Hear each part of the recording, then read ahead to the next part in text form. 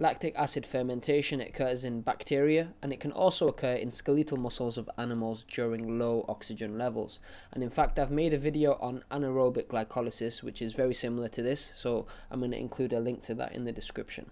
So glucose is converted into two molecules of pyruvate and it's similar to this uh, schematic diagram here. Glucose is converted into pyruvate. And then pyruvate is then converted into lactate via the enzyme lactate dehydrogenase.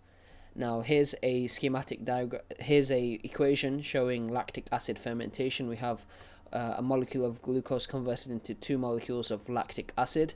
And we also I also included the conversion of pyruvate into lactate. And this is via the enzyme lactate dehydrogenase. And for this reaction to occur from this direction pyruvate being converted into lactate NADH is converted into NAD+, plus, and when lactate is being converted back into pyruvate, NAD plus is converted into NADH.